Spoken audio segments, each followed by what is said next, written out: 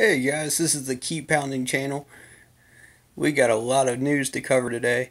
Uh, first and foremost, the biggest news is David Tepper is the new Panthers owner, sold at $2.5 billion. Now his net worth is over 11 million, 11 billion, billion, billion. So, uh, for those of you that don't know, he is partial owner of the Steelers, and this is huge, huge news.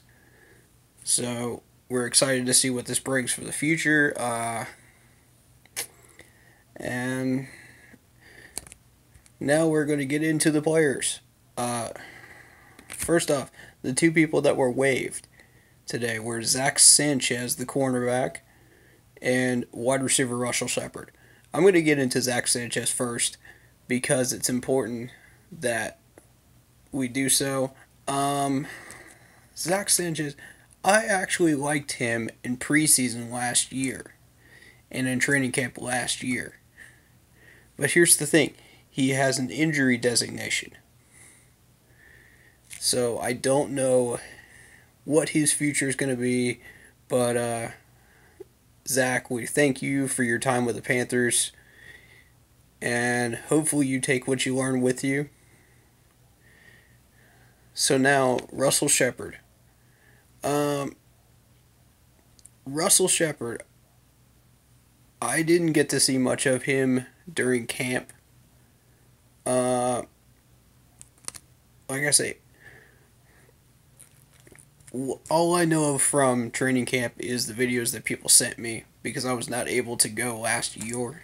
Year, but um, and that's the same with Zach Sanchez. I got to see him through videos that people sent through my news feed about training camp. So, um, based on what I saw, I I don't have enough info to tell you much about Russell Shepard, but I did like the few videos that I saw of him catching the ball, but it was just basic stuff that most of the receivers could do. You know, it was, he did show good hands, but uh, you know, I trust in the management and I trust what they're doing. If they don't think he's a good fit and they want to sign somebody else that uh, looks better and helps out with needs and depth, then I'm down. Um, so, before I get into the people that we signed, Donte Jackson, the cornerback. Uh, apparently, he was very vocal during training camp, and people like him. So, he showed a lot of confidence, which is good as a leader, you know, doing call outs. And uh, that's all according to newsfeed that I got so far today. Um, that's a good thing because we, we need vocal leaders at corner. We need vocal uh, corners, secondary men that really lead us in the right direction. So that's good. Um, so now, the signed players. Wide receiver Bug Howard. Uh, one person mentioned him in the comments and said that they liked him, and I forget who that was. I didn't write down a name, so forgive me for not getting that name and shouting you out. But uh, wide receivers are always good. You know, we're we're always looking for wide receiver competition right now. He's listed at 6'4", 200 pounds. And uh, the next man is center Kyle Friend, listed at six foot even, 295 pounds. And he had this to say Every team I've been at or been around has been has had Pro Bowl guys. Uh, and I've been able to pick something up from every one of them. So I'm sure I'll be able to learn something from Ryan Kalil. Well, you're learning from the man himself, the legend Ryan Kalil. Yeah, he may not be in his prime anymore, but I can tell you this much. You are learning from the right man.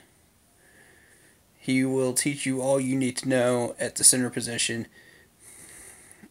And I'm not sure if uh, Bug Howard is a predominantly run stop run blocker or a predominantly pass blocker or both.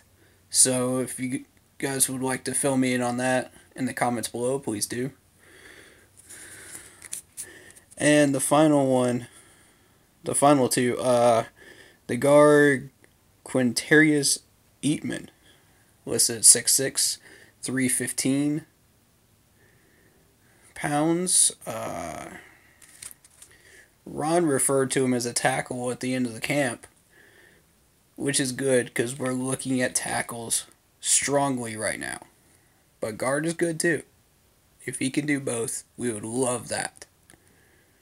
Uh, and the final one is defensive end Karter Schultz, listed at 6'3", 260 pounds.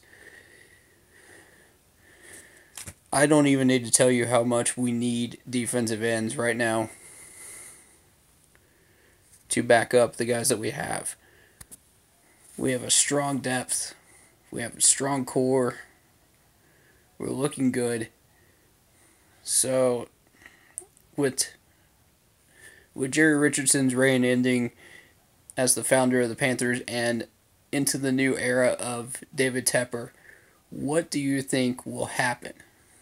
What expect changes do you expect? please drop those in the comments below. I would love to read those. Um, you know, and I will respond back to them as soon as I can. I'm a busy man, but I will try my very best to respond to you.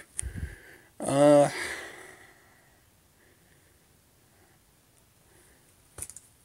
I think that's just about it as far as Panthers news today. Um, keep checking in for the videos and I'll be putting them out as soon as I have info and have had time to research this stuff. Thank you guys so much for the support you guys are giving me, the comments, the likes, the subs. You guys are fantastic. Anybody that's uh, helped us out with the channel, you guys are amazing. Please don't forget to like, sub, and hit that bell. If you hit that bell, you will get our videos. I cannot stress that enough because there are so many YouTubers that get comments about, oh, uh, the videos didn't come to the feed or I didn't get alerts. Well, that's because you didn't hit the bell. So, please do so. And that'll be right next to the subscribe button in case you missed that. Um, So yeah, I think that should be it. Um, any music that you would like me to react to, please leave that in the comments below as well.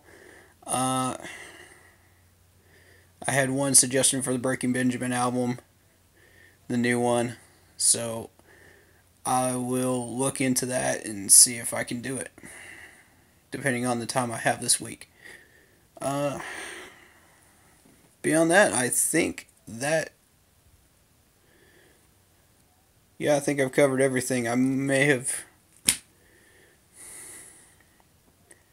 gotten new news in between when I started this video and when I ended it, so if so, I will get to that news tomorrow.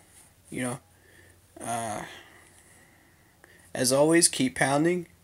Panther slogan in honor of Sam Mills. Go Panthers. Hope you guys have a great day. And we will see you again tomorrow. This is the Keep Pounding channel.